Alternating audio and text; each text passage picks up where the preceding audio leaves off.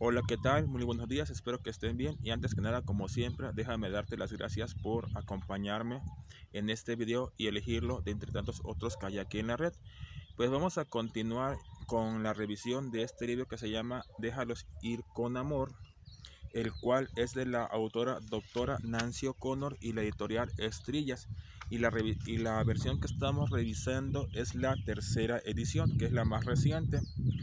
Ah, como ya hemos mencionado, asimismo también hemos hecho algunas comparaciones con la segunda y primera edición de este libro. Y ya estamos aquí en el capítulo número 15, el cual yo considero que es uno de los más importantes o el más importante a mi punto de vista, ya que este capítulo 15 abarca el tema de la propia muerte y el proceso de morir. Debo confesar que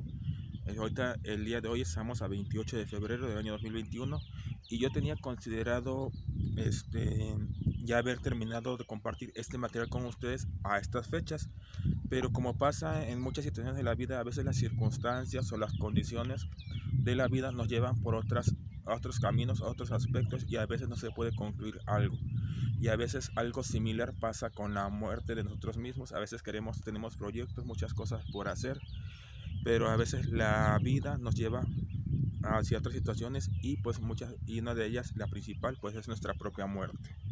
Independientemente de la causa por la que fallezcamos puedes ya sea por muerte natural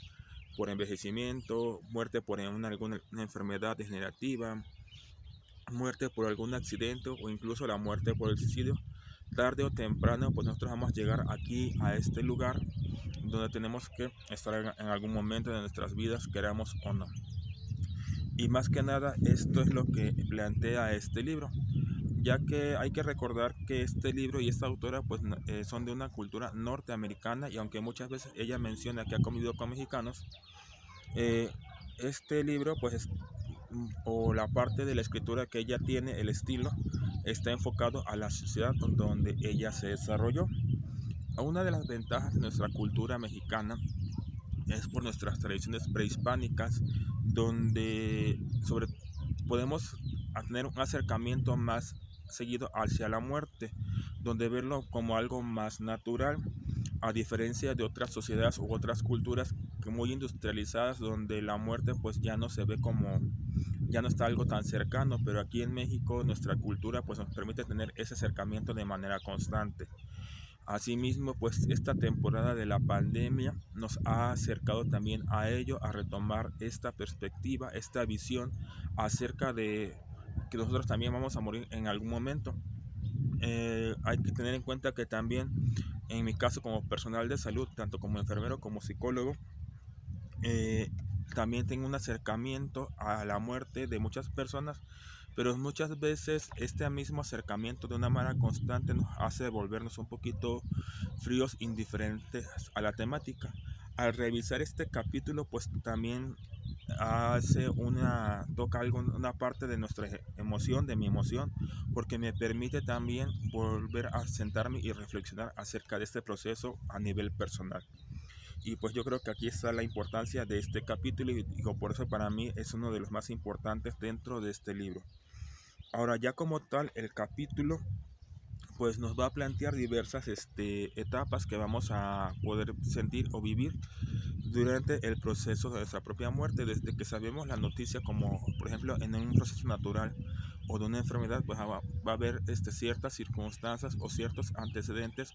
que nos van a poner como sobre aviso, pues es parte de nuestros instintos, ¿no? Y reflexionar sobre ello. Ya posteriormente va a venir un apartado donde dice que la mejor forma de tener control sobre estas emociones o este proceso es nuestro autoconocimiento como tal. Y pues ya de ahí esto nos va a llevar a conocernos y a saber, a adelantarnos de ciertos cambios que nuestro cuerpo puede estar percibiendo en nuestro organismo, tanto cambios emocionales, este, cognitivos y psicológicos, y a nivel físico. Otro punto también importante que maneja aquí la autora en este libro eh, nos habla acerca de la edad de la muerte,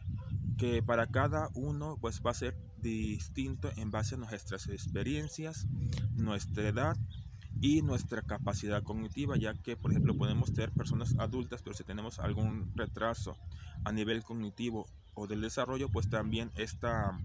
percepción de la muerte pues va a ser diferente. Y aquí nos plantea desde lo que es un infante,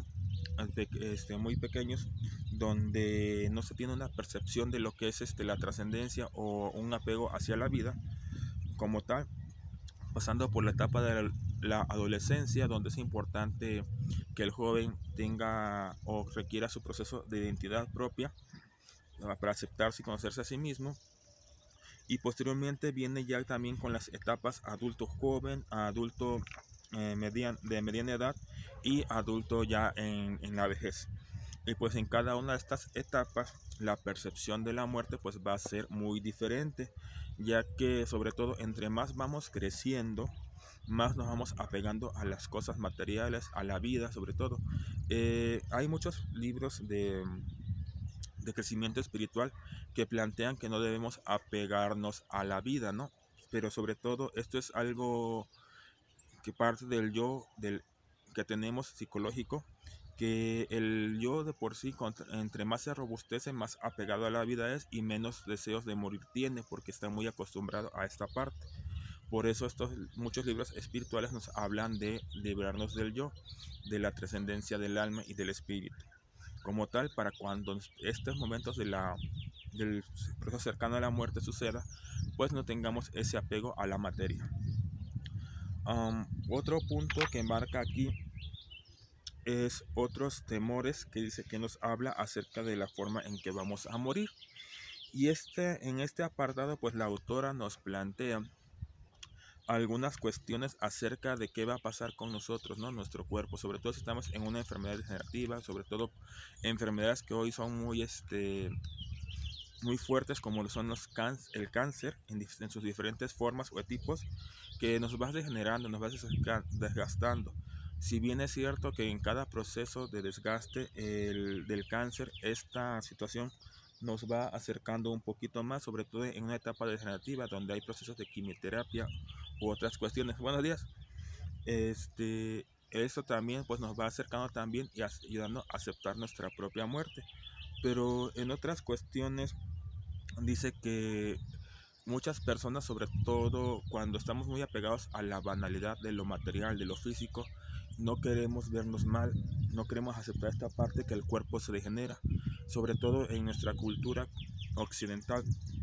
que hoy en día se venera mucho la juventud, se venera mucho la belleza, la estética, ¿no? Y nos venden ciertos productos por la televisión para que, estemos bien, vernos bien y que no haya arrugas y negando el proceso, nuestro proceso natural de acercarnos a la muerte y de envejecer y nuestros cambios físicos y sobre todo pues esto nos va a generar un temor mayor en el proceso de la muerte y la enfermedad. ya posteriormente viene algunos otros aspectos en los que la autora recalca mucho, el cual se llama decisiones finales. En este apartado pues la, la autora nos propone, como en otros apartados ya que hemos visto del libro, que es importante arreglar nuestros asuntos financieros, nuestros asuntos económicos y familiares, así mismo como de relaciones interpersonales como tal, ya que muchas veces creo que dice que hay que ser como que esta parte de nuestra ética personal, donde no debemos heredar problemas o dejar problemas a los que se quedan, ya que suficientemente van a tener con nuestro proceso y el dolor emocional que van a sentir al momento de fallecer. Y ya posteriormente viene a ya un apartado donde ella nos cuestiona, bueno, ¿y tú al morir qué vas a dejar? ¿No? ¿Qué, qué quieres que recuerden de ti? ¿Cómo quieres que te recuerden? Y este, este apartado pues se llama Dejando un legado. ¿Y cómo quieres que te vean el día que te has ido? Y pues ya son este, aspectos que se van a manejar eh, de este apartado o de este capítulo. También algo que se me pasaba eh, dejando un legado y de cuestiones finales, es que aquí hace unas preguntas importantes, ¿no? ¿Cómo quieres que sea la disposición final de tu cuerpo o del cadáver al, al fallecer? Si bien aquí en México pues las opciones que tenemos son tres, una que sería el entierro de forma natural, Otra sería la incineración y la tercera sería la opción de donar nuestros órganos. Más que nada, y esto es lo que hace un, punto en que puede ser doloroso y puede ser este, un poco preocupante, porque al final de cuentas, mientras estamos vivos, tomar esa decisión pues nos va, nos va a causar cierto miedo eh, como tal. Y pues aquí la autora pues ella hace hincapié en que debemos tomar esa decisión para que nuestros familiares sepan cómo manejar esta situación y cuál va a ser la disposición final de nuestro cuerpo al morir. Y bueno, hasta aquí sería lo que es este un breve comentario acerca del capítulo número 15, donde el cual yo considero que es muy importante como tal. Y aquí pues hay que recordar que también en el capítulo número 5 ella hizo referencia a un, gráfico como tal donde nos eh, estipula ciertas cuestiones de los duelos que vamos pasando durante nuestra vida y cómo nos van afectando en su importancia. Ella decía en el capítulo 5 que este gráfico pues venía en la página 162, pero bueno, esto le decía que fue un error editorial que tiene la menor importancia a nivel de la comprensión de esta. Pero aquí se los muestro como tal. Espero que se vea un poquito y si no se llega a ver me hacen el comentario para que yo se los pueda modificar y, y compartir. Para los que todavía no tengan el libro para los que ya lo tengan pues lo pueden consultar en la página 160 por el momento yo me despido. Gracias por tu atención y más que nada te invito a revisar a detalle y con calma este capítulo. Digo pues la temática que maneja ella aquí en este apartado pues es muy importante y nos va a ayudar mucho para nosotros mismos, para nuestra comprensión y aceptación de nuestra propia muerte, eh, independientemente en el momento en que sea, y para no dejar problemas o conflictos a los familiares que se queden aquí en vida. Como realmente me despido, que estés bien y ya en el siguiente capítulo vamos a ver el, el tema de la muerte por suicidio. Que tengas bonito día, que estés bien y hasta la próxima.